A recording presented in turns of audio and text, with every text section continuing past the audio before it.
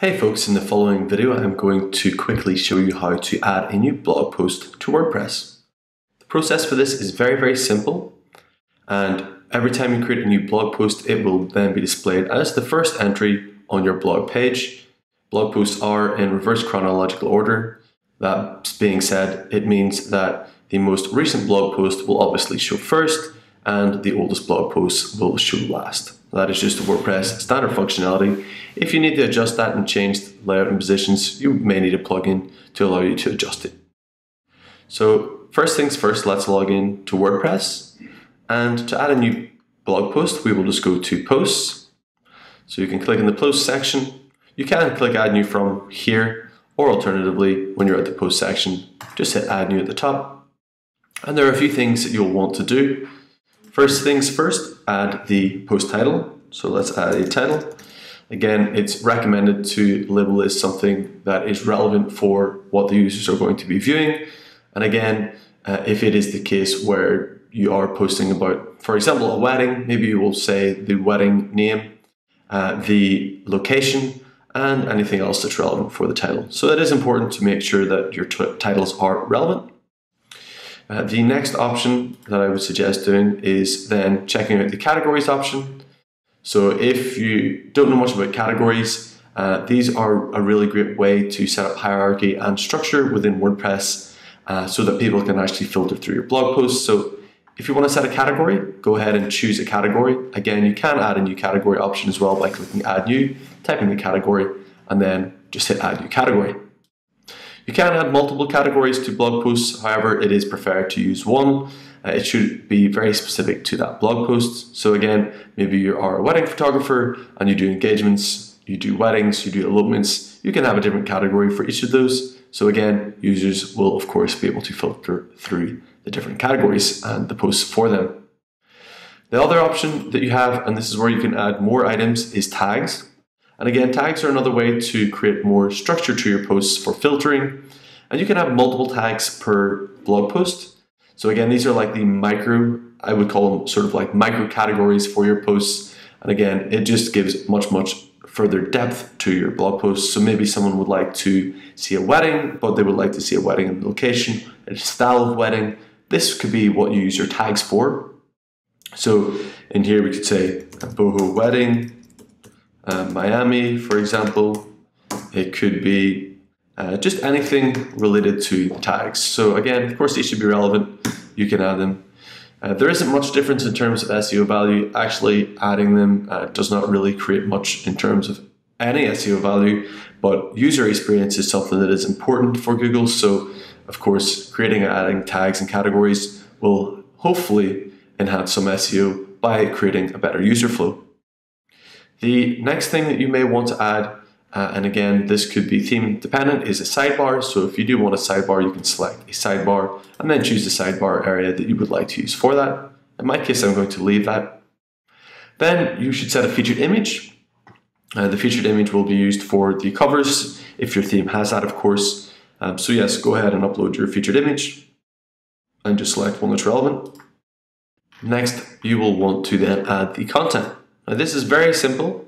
You can hit add media uh, and that will allow you to upload blog posts. So if you would like to add posts, you can drag and drop those from your desktop, for example. If you have images, just throw those in there as well. So maybe I want to upload this image.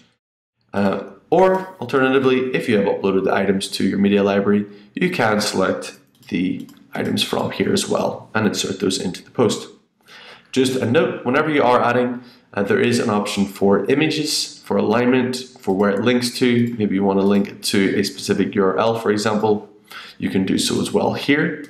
And you can choose the size, thumbnail, medium, large, and full size. I always set mine to full size um, and then insert them in the post. Uh, if they are inserting as a smaller size, you can actually edit them and click edit uh, and then choose the sizing. If you wanted to, to set an option as automatic, what I always suggest doing is first add one single image, then set the size. So in this case, uh, if I choose full size, I insert this into the post. All other images after this will automatically have full size as the default value. So again, makes it much, much easier for inserting multiple images to the post at the correct size. Now for text options, there are a few different things you can see up here. So you'll see that we have a WYSIWYG uh, editor here. So I can add uh, text and details and you can do a number of things here uh, for the site. So you can bold text, so highlight any piece of text, you can use the bold tag, italics, you can add bullet lists, numbered lists, you can add quotes, you can set the alignment of the text as well. You can add links if you click the insert hyperlink option and put in a URL here. And of course, if you hit the options tab, you can make it open in a new tab as well. So, you know, I could click add a, new, a, link here, open a new tab. Uh, you also have some options for heading uh, read more, um, and if you have plugins added, you may have additional functionality available there also. You'll also see that there is options for uh, text styling. So again, it could be for the hierarchy. Maybe you want to add the H1 title, uh, you know, H2 title, just to create some structure, because that is of course very useful for uh, SEO purposes if you structure your content, and it makes it much easier for users to use. You can, of course, choose styles for colors. You know, you could choose uh, red, for example, for this specific piece of text. Just know that that will always overwrite any global settings you have. So if you have some strange text uh, formatted on your website, it's most likely because you've chosen some options in here, and that will, of course, overwrite any global settings that you have. So you do have a number of options, folks. You can just go ahead and check through those if you really want to learn more about that. You can read the WordPress Codex, and it explains this in much, much more detail.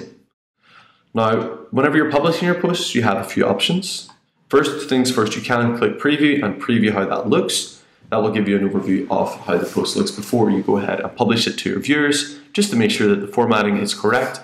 And it's a good way just to preview your post. So yours may be different style than mine. Uh, this is theme specific, uh, this exact style. But again, you can see here we have uh, the uh, category at the top, the title, the date, of course, it will be of course very theme specific. We have the text and details that I've added, all the images that were inserted into the post as well. Uh, of course, there are comments and sharing options. Again, this may be theme specific, and in our case, we have also links to different types of blog posts. Now, you will also see that there's options for visibility. Again, you can choose public, you can choose password protected uh, if you would like that to be only shown to uh, specific people with a password, and private uh, that is useful if you uh, have an editor um, or you only want someone that is an admin uh, or an editor to view this blog post. Uh, use private. So in most cases, you will use public. You have options then for publishing. So right now, it's, it's by default it's set to publish immediately. Uh, you can click edit and set a, a, date in the future. So if you've created various blog posts and you want to schedule those, maybe you're going on holiday, maybe you just want to make sure that you have 10 blog posts coming out in the next 10 weeks, you can just go ahead, create them all, and then schedule the date for that as well. And then that will automatically schedule those whenever you have assigned it. So if I set for the 5th of May, for example, and I hit publish, this will actually schedule it for the 23rd at the specific time and date. And then when it comes to that time, it will of course publish the post and it will be available to your users. Now, in my case, I'm just going to publish this just so you can see. Let's choose today. So we're going to publish it uh, right now. So and today's date. So April. I'm just going to hit update, and that should automatically publish this blog post. And then with that, it will then show up on your blog page. So if we were to log back over to our blog page, we can now see, once I refresh it, that we have a new blog post listed here. Again, setting up the blog page will be different for different uh, theme providers. In our case, we have a block that allows you to do so and of course style it. So again, refer to your documentation for how to set up the blog page specifically. This tutorial will just cover the different options for the blog posts. So that's it folks. Go ahead, start adding your new blog posts and you can start creating some awesome content for your users.